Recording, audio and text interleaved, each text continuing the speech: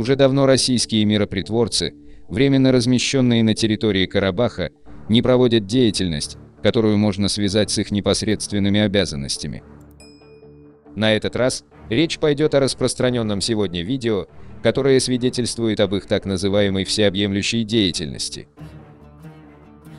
На кадрах российские миропритворцы проверяют азербайджанский грузовик, проходящий через временно подконтрольную им территорию, а из-за спины российского военнослужащего в нашу машину пытаются заглянуть сепаратистские полицейские и террористы в военной форме.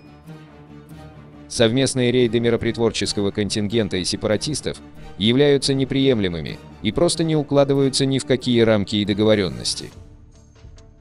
Значит, мы не ошибемся, если скажем, что российские миропритворцы действуют в Карабахе совместно с террористами. Трудно представить, но так оно и есть. На землях Азербайджана какой-то террорист-сепаратист осмеливается осмотреть автомобиль гражданина Азербайджана. И эту смелость ему придают как раз миропритворцы.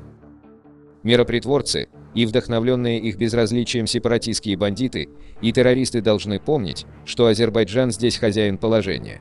Ему не составит никакого труда поставить на место всех, кто осмелится нарушить установленные им границы. Пишите в комментариях, что вы об этом думаете. Спасибо за просмотр.